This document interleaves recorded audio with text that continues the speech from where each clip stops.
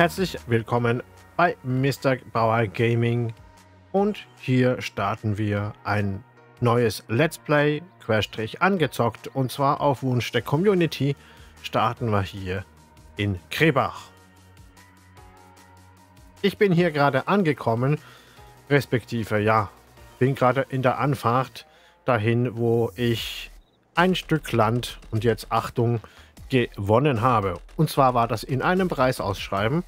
Hm, habe ich halt einfach mal meine Adressdaten hinterlassen.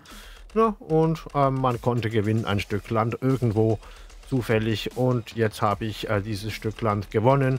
Das schauen wir uns dann natürlich äh, gleich mal an. Stück Land mit einem Hof dazu, alles was dazu gehört. Ich glaube, der Wert soll so um die 500 bis 600.000 Euro sein. Das werden wir uns jetzt gleich mal angucken. Ich wollte kurz eine kurze Pause einlegen hier. Und ja, da würde ich sagen, gehen wir los und gehen wir gleich mal zu diesem Hof. So, also, da gehen wir mal los. Und da ist auch gerade mal ein Unwetter vorbeigefahren, also gekommen. Da ist nämlich ein umgestürzter Baum da. Das heißt, ja, einmal rum, rumfahren, wie das die meisten hier machen. Hoffe, dass der dann mal wirklich weggeräumt wird. Der arme Herr. Okay. Hoffentlich ist ihm nichts passiert. Nur Blechschaden hoffentlich. Okay, da gehen wir mal dahin. Wo wir angewiesen worden sind oder wo ich angewiesen worden bin, um hinzufahren und quasi meinen Gewinn zu bekommen. Und zwar heißt dieses Dorf Krebach. Okay, das ist jetzt also mein neues Zuhause. Krebach.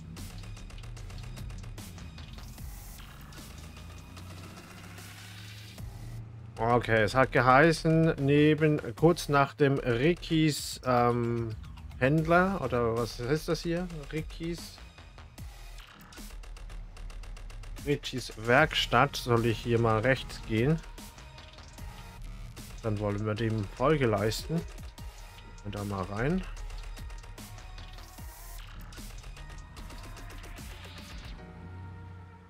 Dann nochmal rechts hieß es. Das Tor würde offen stehen.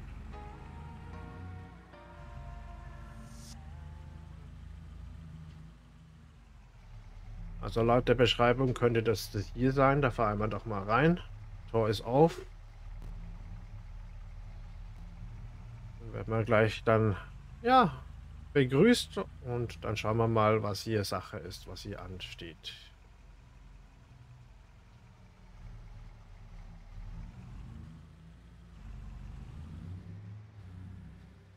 Stell dir mal da unter dem Baum in den Schatten hier.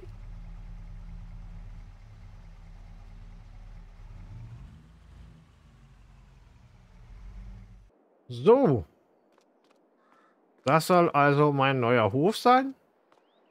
Da gucken wir doch mal.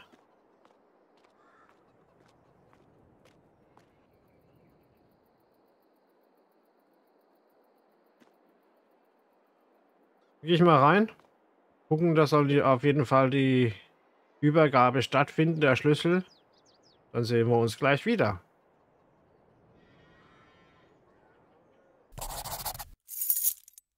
So, okay. Das war ja ein gutes halbstündiges Gespräch. Was ist passiert? Ich habe die Schlüssel bekommen zu diesem Anwesen. Ich bin jetzt offizieller Besitzer von diesem Anwesen. Habe auch einen riesengroßen Stapel an Papieren bekommen. Natürlich ähm, erstens, welche Felder dazu gehören, ein bisschen was über die Information der Felder. Ich habe ja nicht große Erfahrung mit der Landwirtschaft. Aber ähm, eben da sind Anweisungen und so weiter, sind alles dabei. Ähm, das heißt, ähm, ja, das ist jetzt mein neues Zuhause, meine neue Aufgabe. Ich habe das gewonnen. Warum sollte ich den, den Gewinn nicht annehmen und mir quasi ein neues Leben, ein neues Kapitel in meinem Leben aufschlagen? Dann, ähm, ja, gehen wir gleich mal kurz, ähm, folgen wir kurz mal auf eine kleine Hoftour hier. Das ist jetzt also ein neuer, der Hufhund, der gehört zum Hof. Heißt Bello. Können wir dem mal Futter geben. Da kommt er auch gleich angerast. Hallo Bello. Wunderbar. Na, dann habe ich dir schon mal einmal das Fressen gegeben, das erste Mal. So, dann schauen wir uns mal rum. Da haben wir ein paar Hühner. Das sind ein paar Hühner da. Ja, das ist, ich glaube, das sind 120 Hühner sind da. Da ist auch was ein bisschen was von Futter noch da. Na, das heißt, ich kriege den Hof funktionstüchtig, aber so, dass er eben schon läuft, der Hof. Da haben wir einen Uni-Track 122 von Lindner. Der, hat, der ist hinten leer, hat aber hinten so ein Zugmaul dran, glaube ich. Dann haben wir hier, ach, das gehört wahrscheinlich da drauf dann. Okay, das sieht so aus, als wäre das zum Sammeln von Gras. Ein sogenannter, ja, und von Lüren. Das ist, scheint ein Schweizer Produkt zu sein. Das ist schon mal gut, oder? Dann haben wir hier einen, einen tschechischen kleinen Kleinstanhänger. Das ist ja lustig. Der sieht ja wie ein Spielzeug aus. Da steht auch noch ein Anhänger drin. Der ist ein bisschen größer als der andere. das ist ein Welger. Das sei, lasst mich kurz gucken auf meinen Unterlagen. Das soll eine Futtermischanlage für Hü äh, Kuhfutter sein. Also das heißt, hier wird so genanntes Mischrationsfutter hergestellt oder gemischt in dieser Fabrik oder in diesem Silo hier. Da müssen wir dann gucken genau, was das braucht. Da haben wir ein paar Werkzeuge. Da muss ich mich da nochmal umgucken, was das bedeutet alles. Dann haben wir hier eine, das gehört auch wahrscheinlich auch zu diesem Unitrack. Und dann haben wir hier einen, einen Toni. Hallo Toni. Und zwar Antonio Carraro. Das heißt wahrscheinlich so der, ja, niedliche Name von Antonio Carraro scheint, klingt italienisch. Kleines das sieht auch wie ein Spielzeug aus mit einer übergrößten, über, ja, aufgeblasenen Kabine. Da ist noch ein bisschen Schutt da. Okay. Ach, das ist doch niedlich, die Schmetterlinge hier. Das ist wahrscheinlich auch gedacht für diesen Unitrack. Das scheint so wie ein Miststreuer zu sein. Dann schauen wir doch mal da rein. Da ist, glaube ich. Ah, da ist leer. Das ist leer. Okay, da kann man also noch... Könnte ich mein Auto unterstellen. Das hier soll ein Lager sein für Heu und Stroh. Da kann man Heu und Stroh lagern. Angeblich. Da gehen wir mal darum. Oh, da, der, der Lärm verrät hier sind die Kühe zu Hause. Hallo, liebe Kühe. Hoffentlich gebt ihr mir tatsächlich ein bisschen Milch dann. So, dass ich das nicht kaufen muss und ich das auch vielleicht sogar was verkaufen kann. Hier, ach, das ist das Bettchen, wo die Kühe dann hinkommen zum Ruhen. Überdacht. Okay, Stroh da. Da ist ein Güllefass. Riechen tut das nicht. Ja ähm, wohlig. Dann haben wir das Aufbauteil hier. Das gehört wahrscheinlich auch zum Unitrack. Und zwar ist das wahrscheinlich gedacht zum Ausbringen der Dünge, der, der Gülle. Gucken, wie sinnvoll das ist. Ob das nicht ein bisschen klein ist. Da haben wir also das Kuhgehege. Da liegt auch was rum. Das ist scheint so, als wäre das ein Gewicht. Oh, da ist auch gar im Pass äh, etwas gelagert. Also da ist ein bisschen, das sieht nach Pflanzenschutz aus. Das sieht nach Flüssigdünger aus. Da ist ein bisschen, das sieht nach Saatgut aus. Und da gibt es Kalk. Okay. Und da gibt es eine, das sieht aus wie eine Seemaschine. Eine Kuhn Venta muss ich gucken in meinen Unterlagen dann. Dann gibt es eine John Deere, ähm, das sieht wie eine Spritze aus, eine spezielle. muss ich mir alles genau dann angucken in meinen Unterlagen, für was was ist und was, was es alles bringt.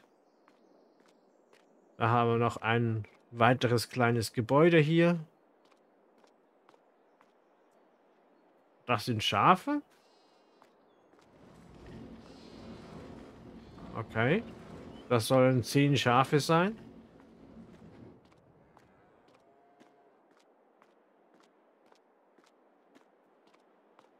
Und das sieht nach einem Traktor aus.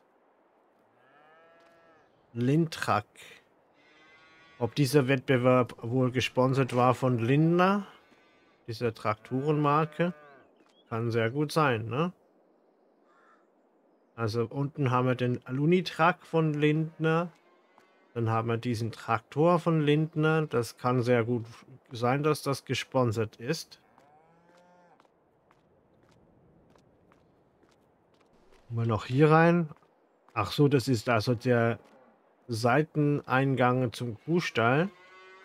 Da sind wir vorhin vorbeigekommen hier vorne. Okay. So, da gehen wir nochmal hier hinten raus. Dann haben wir nämlich hier den Miststock, den Misthaufen. Das scheint ein Silo oder sowas, ein Bunker zu sein. Da kann, ich weiß nicht, was gemacht werden. Muss ich dich mich natürlich dann auch noch durchlesen durch die ganze Dokumentation. Das scheint auch noch ähm, Hofgelände zu sein, weil hier schön der Zaun entlang ist. Das heißt, guck mal.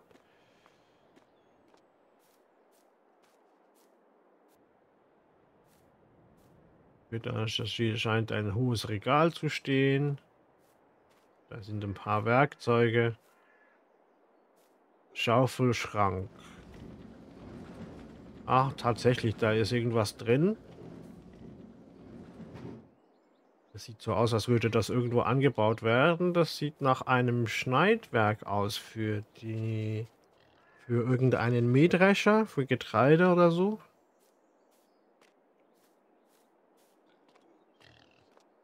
Oh, das riecht, das riecht ja sehr, sehr eindringlich hier. Das scheint, das scheinen die Schweine zu sein hier. Auch wieder ein Misthaufen.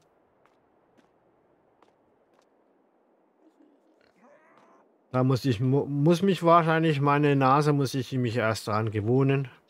Na, da wie das, das werden wir dann sehen. Oh, da steht ja was Großes da. Der Condor 15. Das muss ich mir genau angucken. Das scheint sehr interessant zu sein. Steht ein bisschen weit raus hier, ne? Dass man da eventuell beim Durchfahren da in die Quere kommt. Könnte sehr gut sein, ne? Da haben wir auch irgendwie so ein Silo. Da steht was drauf. Schweinefuttermischer. Okay. Muss ja auch kurz gucken, dann. Dann haben wir hier nochmal etwas, einen kleineren Traktor. Von wem ist der? Das ist von Lindner. Also es scheint tatsächlich eine Sponsor, ein Sponsor zu sein von diesem Gewinnausschreiben. Dann haben wir hier einen Class Dominator. Dominator. Das scheint auch dazu gehören. Ui, ein Drescher. Ich bin noch nie auf einem Drescher gesessen. Mal gucken, wie das geht.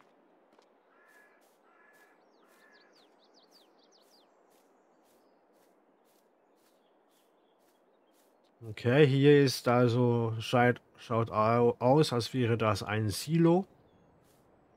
Okay. Und immer wieder die Schmetterlinge, die hier im Sommer hier in der Luft tanzen.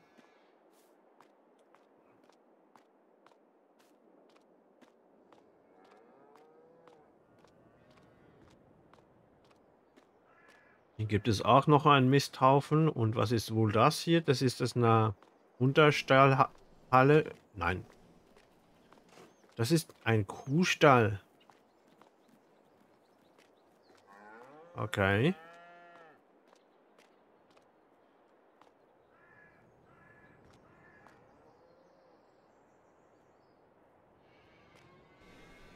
Okay, schauen wir mal hier hinten raus.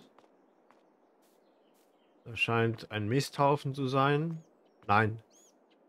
Äh, nee. Das ist zu sauber dafür. Das ist... Ich weiß nicht, für was diese Bunkersilos sind. Da hat man unten schon eins gesehen.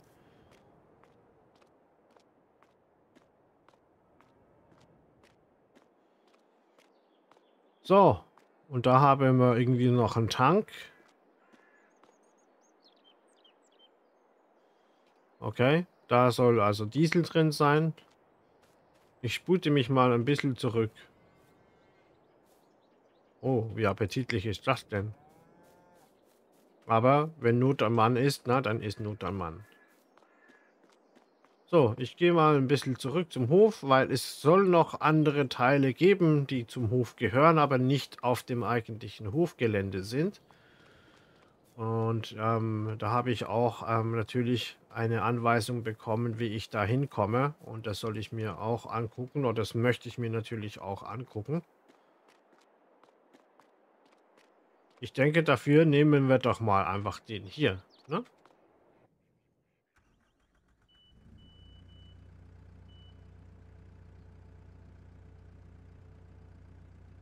Okay. Das heißt, ich soll zurückgehen auf die Hauptstraße. Und dann soll ich rechts und quasi weitermachen, von wo wir hergekommen bin, sind. Also jetzt hier rechts.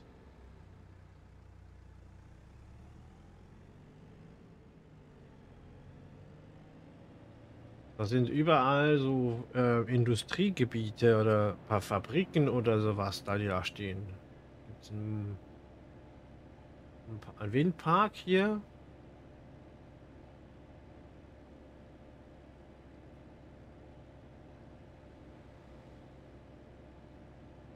Okay, schön ist es ja hier, ne? Also schön ist es ja. Da wird es wahrscheinlich hier abends ziemlich kühl werden, wenn dann die Sonne weg ist. Wird es hier ziemlich wahrscheinlich dann kühl. So, und jetzt soll hier ein Biergarten sein und da soll ich mal reinfahren.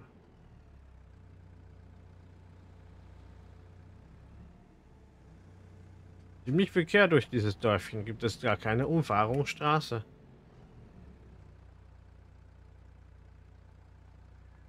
Soll ich jetzt weiterfahren oder warten Sie? So. So, das soll also hier der Biergarten sein. Also hinten auf der anderen Seite natürlich. Und da soll, soll es auch noch was geben, was zu uns gehört oder zu dem Hof hier. Dann wollen wir doch mal schauen. Okay, das scheint ein Anhänger zu sein mit ein bisschen Wasser. Und da sind zwei Pferde. Uff, ich kenne mich Pferd mit Pferden überhaupt nicht aus, aber die schauen lieb aus. Irgendein bisschen was an Futter ist auch schon da, das ist ja in Ordnung. Jawohl, ja, ja, ja. Also, na, ich bin jetzt euer neuer Besitzer. Dann benehmt euch. Kommt dann später nochmal vorbei. Das scheint ein Misthaufen zu sein bei den Pferden. Ja, klar. Pferdemist ist wertvoll, ne? Also das scheint leer zu stehen. Ne? Da werden wir mal gucken.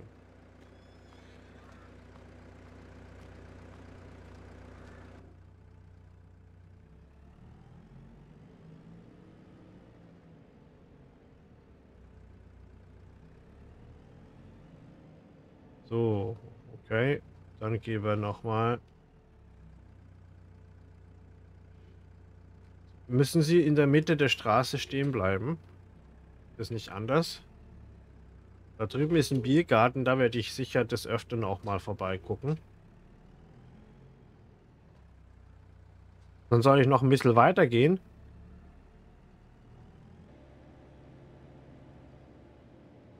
Und da soll ein Gewächshaus stehen. Das soll auch noch dazu gehören.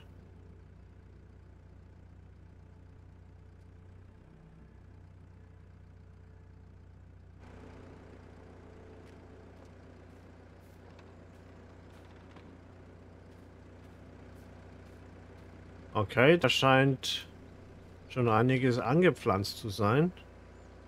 Das scheint nach Tomaten aus und nach Kopfsalat. Okay. Muss ich auch genau durchlesen, was die wollen von mir? Was die brauchen?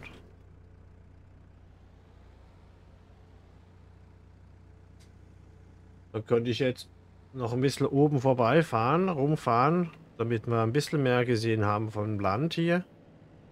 Richtig, richtig, richtig gemütlich hier. So, da gehe ich mir mal hier mal lang.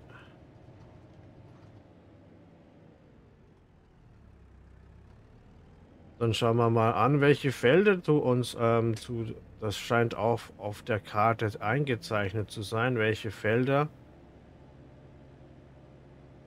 mir gehören oder zu diesem Gewinn gehörte. Das soll eine soll hier sein.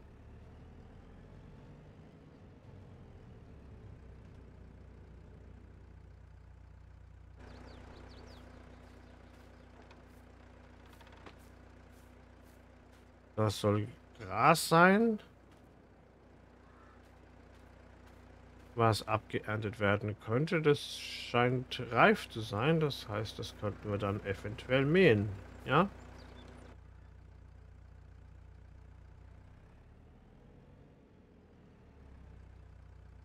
Also dieser Kleinstraktor ist echt praktisch hier, um auf der Karte rumzukommen oder auf dem in der Gegend da. Das scheint sehr praktisch, wendig zu sein vor allem. Okay, hier auf der linken Seite soll man Sachen kaufen können wie Kalk und so, solche Sachen. Flüssigdünger. Wenn mal wieder kein mehr da ist, kann man hier also kaufen fahren. Angeblich. So, dann das nächste Feld, also hier drüben ist dieser Kuhstall, den wir schon gesehen hatten. Und das scheint dann auch... Das scheint auch eines der Felder zu sein, das zu mir gehört. Ja. Das scheint... Das scheint Hafer zu sein. Das haben wir... Okay, das heißt, es wäre ja gut, wenn man da etwas aufbewahren könnte für die Pferde.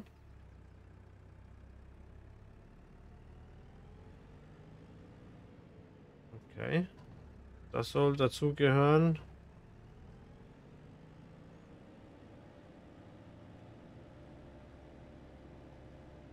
Das ist ein ziemlich großes Feld, ne? Also ich sag mal für hiesige Verhältnisse.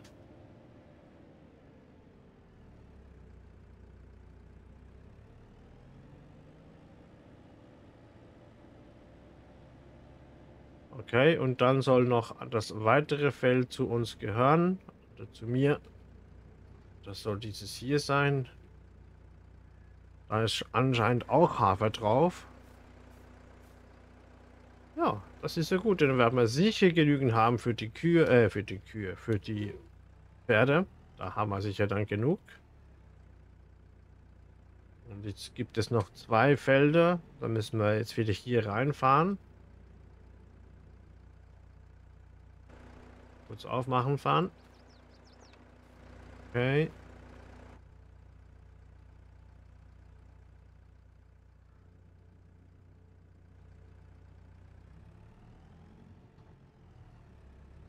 Okay, das erscheint auch. Also das Feld und das Feld gehört auch zu dem Hof oder zu diesem Gewinn. Da ist auch Gras drauf, aber das scheint mir noch nicht so richtig ausgewachsen zu sein. Ich glaube, das andere war viel höher, ne? Das heißt, das heißt, das würden wir hier gerne noch ein bisschen wachsen lassen und geben dann zum anderen das andere abernten. Ja, das wäre auf jeden Fall, wenn ich das mal mir, ja, muss ich noch gucken in der Dokumentation, aber so jetzt rein von meiner Unwissenheit würde ich das so sagen, dass wir da noch ein bisschen warten.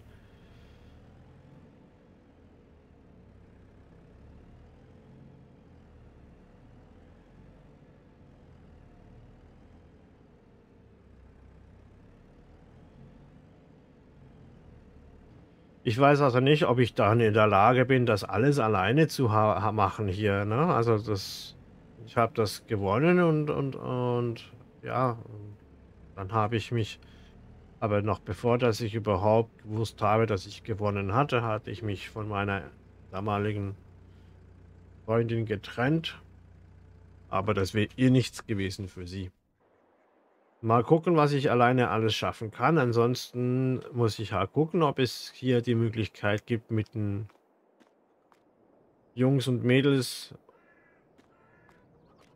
von der Kirchgemeinde oder von der Schule oder so mit zu, zu zählen, wenn ich denen Taschengeld gebe und kommen die vielleicht helfen. Das muss man alles noch rausfinden. Das weiß ich halt alle noch nicht. Ne? Da bin ich noch. Bin ja gerade erst angekommen. Ne? Also keine Eile. Und dieses große Haus brauche ich ja für mich alleine auch nicht. Ne? Da könnte ich mir tatsächlich vorstellen, ein paar dieser Zimmer quasi als Tourismuszimmer abzugeben. Oder, ja, das wäre sogar vielleicht auch eine Idee, zu sagen, okay, hier könnt ihr Bauernhofurlaub machen mit Mitarbeit. Das heißt, da könnt ihr Traktor fahren, da könnt ihr das und das machen und so, natürlich immer unter Aufsicht. Und so könnte mir im Prinzip dadurch, dass wir den Urlaub, also quasi ähm, als touristisches Ziel angeben, kann man das Geld, äh, kann man ein bisschen Geld verdienen und natürlich die Mithelfer, die wären dann natürlich immer wieder vor Ort. Klar, das würde wahrscheinlich nur klappen äh, im, in der Sommerhochsaison, wenn die Sommerferien sind. Aber das werden wir sehen. Das, kann, das wäre ja eine Möglichkeit, ne? was man machen könnte.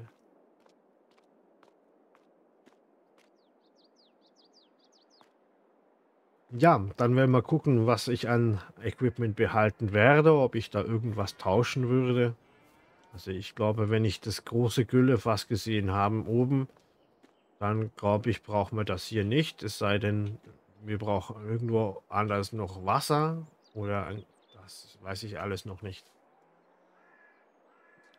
Ich würde mal sagen, ich gehe mal ein bisschen noch die Unterlagen studieren, die ich bekommen habe.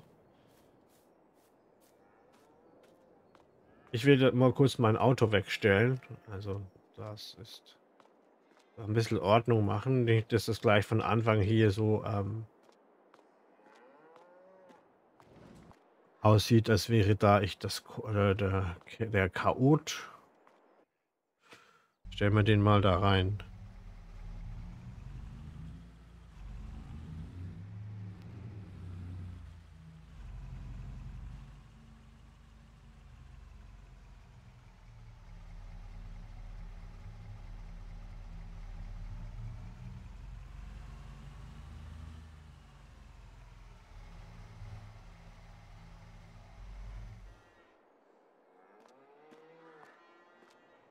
So, ist er hier hinten drin? Ja, das ist gut. Das heißt, den brauche ich ja nicht immer. Den kann ich mal wegmachen. So.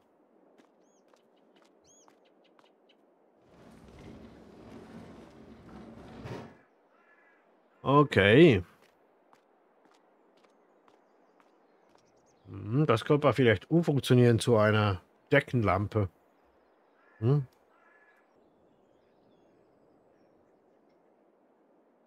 Leider ist die eine Speiche gebrochen. Da liegt noch einiges an Grümpel und Mist und so ein altes Silo noch rum. Mit wohl wirklich tatsächlich keinen Nutzen. Gucken, ob man das dann wegmachen könnte mal, eventuell. Holz, das auch hier nicht erwünscht ist, aber es ist halt ein bisschen ver nachlässig geworden haben, nehme ich an. Ich weiß ja nicht, bis wann hier noch jemand war. Das kann nicht zu lange sein, weil die, die Tiere haben noch Futter. Ach, das ist schön da hinten, dieser Schneeberg. Muss ich dann fragen gehen, wie dieser Herr heißt, was das soll, was, was dieser ist. Da gibt es zu den meisten hohen Gipfeln gibt es irgendwelche Mythen, Geschichten und ja, Mal gucken, was ich hier noch rausfinden kann. Okay, dann lese ich mal kurz ein bisschen weiter in meine Unterlagen hier. Da habe ich einen Ordner gefunden. Ähm, eingeschrieben ist da Precision Farming. Da werde ich mich einlesen müssen. Also ich sehe in diesem Ordner gibt es verschiedene Seiten. Also da gibt es eine Seite für das Feld 21, für das Feld 3, 24, 23 und das Feld 6. Das sind also jedes Feld hat da einen eigenen Abschnitt. Und da sind so Landkarten drin, also mit so komischen Farbschemen. Und natürlich ähm, mit einer kleinen Erklärung. Da muss ich mich noch ein bisschen tiefer einlesen, aber ich sehe definitiv, dass die Felder ein bisschen sauer sind. Das heißt, da müsste man wahrscheinlich ein bisschen besseren pH-Wert hinkriegen. Ähm, wie ich weiß, muss man das mit Kalk machen. Das heißt aber, wir haben ja gesehen, dass Feld 3 und Feld 6 ready for harvest ist, also fertig zum Ernten, bereit zum Ernten. Feld 21 ist auch ready for harvest. Das heißt, ich würde wahrscheinlich jetzt dann gleich, wenn, äh, ja, es gleich weiter, wenn es dann wirklich losgeht, ein bisschen umziehen und ein bisschen ankommen, ein paar Sachen einrichten. Und dann geht es los auf Feld 6 und Feld 3, diesen Hafer wegmachen und äh, gucken, ob es da noch Stroh gibt. Vielleicht, dass man da Stroh zur Seite legen kann um den Kühen zu geben, um den ähm, Schweinen zu geben und natürlich um Futter, Futter herzustellen. Ne? Also Stroh ist hier zwar voll, hier ist es auch voll, das heißt, wir brauchen sofort auf die Schnelle kein Stroh, aber ähm, Mischfutter ist hier, mh, hm, gibt es zwar noch etwas da, aber wäre gut, wenn man dann ein bisschen nachmachen könnte. Ne? muss ich auch gucken, wie man das anmischt und so weiter. Viel muss da passieren. Dann ähm, für die Hühner, da, die wollen entweder haben Weizengerste oder Sorghumhirse. Also schade, nehmen die kein Hafer, dann hätten wir jetzt hier gleich abgedeckt gehabt. Ja, wenn wir dann drei, Feld 3 und 6 ähm, ernten werden. Ja, damit äh, würde ich sagen, gehe ich äh, mich umziehen, mache mich ein bisschen richte mich ein bisschen ein. Und dann sehen wir uns nach einer kurzen Pause wieder. Ich würde sagen, so gegen dreiviertel zehn oder so bin ich wieder da. Ja? Bis nachher. Das war das Kapitel für heute. Dann bedanke ich mich ganz herzlich fürs Einschalten. Lass doch gerne den Daumen da, falls dir dieses Kapitel gefallen hat.